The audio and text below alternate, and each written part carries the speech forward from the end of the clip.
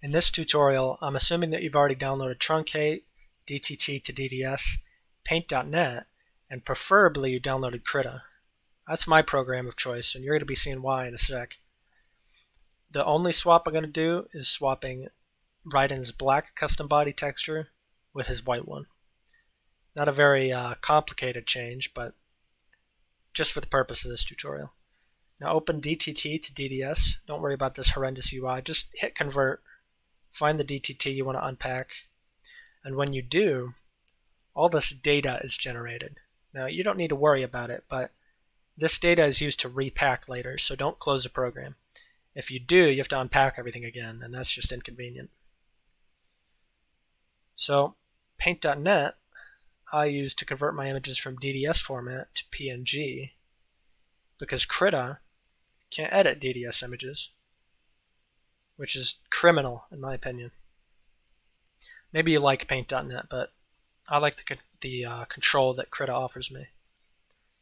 I'm going to convert this texture as well.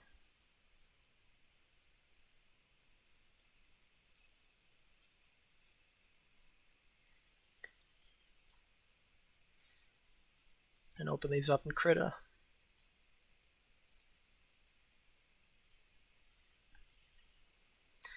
Now the elephant in the room is that this texture is completely opaque, while this one isn't.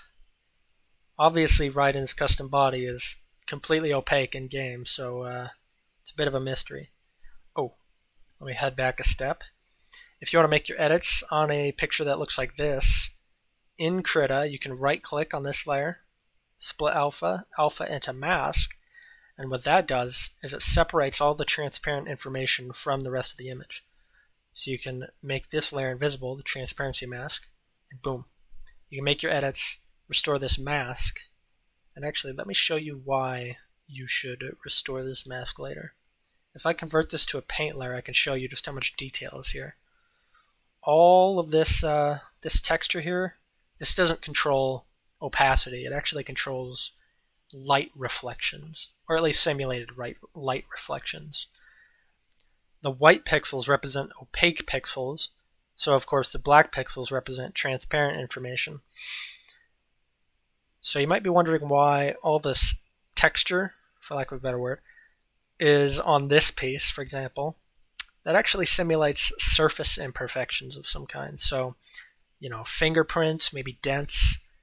If you don't have this transparent information in an image that originally had it, you're going to be losing some detail from your texture. So Make sure you hold on to this or just rip it from another texture later if you have to.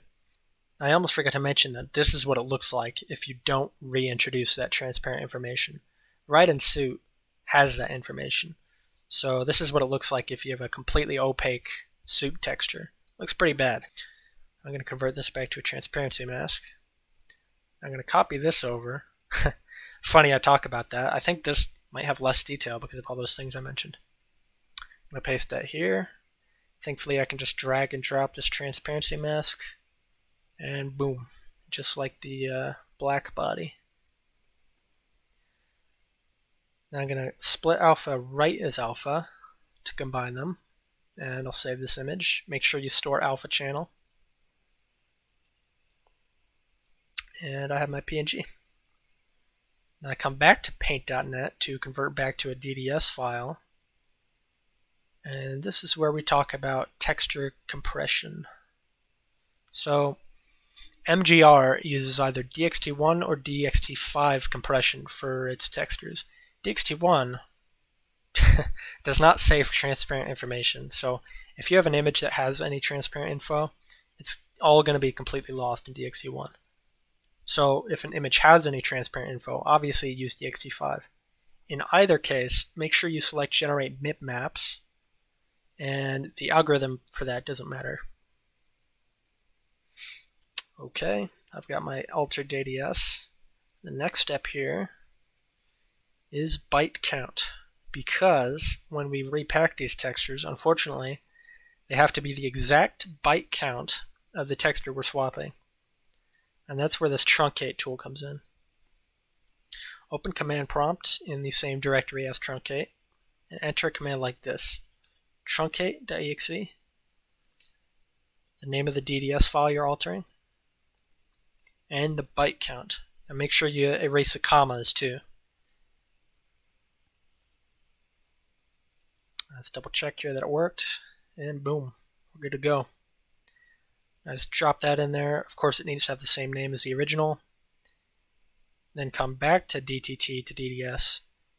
Select this box that says DDS to DTT and convert.